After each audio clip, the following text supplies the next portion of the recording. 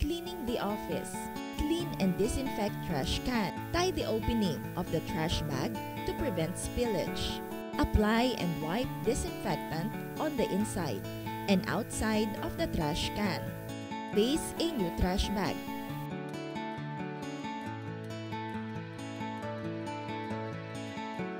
Apply polisher on the table.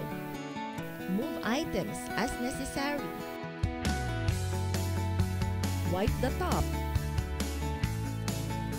and sides of the table.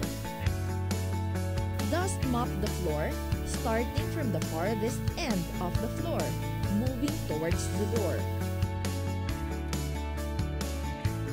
Vacuum upholstered chair using the brush attachment of the vacuum. Dust wipe the legs of the chair. Put the chair back in place.